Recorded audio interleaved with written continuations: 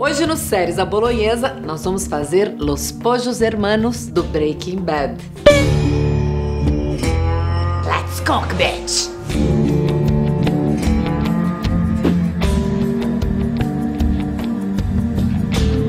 Bom, queria homenagear os Pojos Hermanos, mas fiz a minha moda. Não reclama, não reclama porque eu vou te ensinar duas dicas muito boas.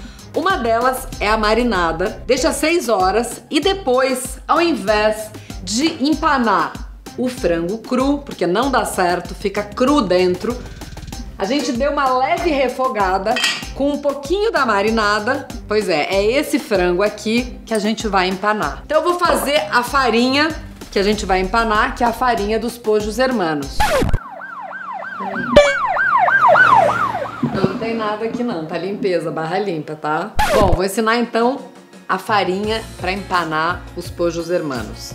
Fubá, cornflakes sem açúcar, triturado no processador, um pouquinho de chili em pó, páprica picante, sal, pimenta do reino e é isso. O do Gus é aquele frangão gigante. O meu é a coxinha da asa, que fica muito mais gostoso para comer de aperitivo.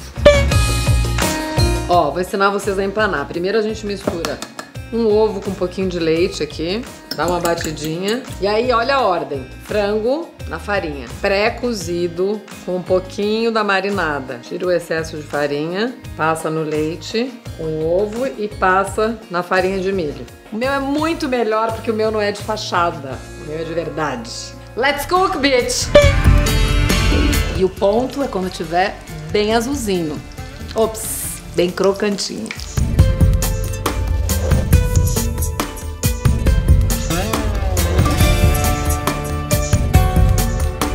Prontíssimo nossos pojos hermanos. Um oréganozinho fresco aqui, ó, só para dar um toque gourmet. Dois molinhos espertos. Um deles de pimenta e o outro de maionese. Se inscreva agora no Boca a Boca. Vídeos novos sempre tinindo segundas e quintas às 11 horas.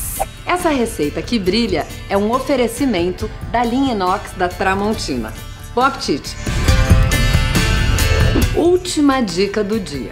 Já que a gente está falando de Breaking Bad e de Pojos Hermanos, fritura não é droga pesada e não vicia, e é bom a beça de vez em quando.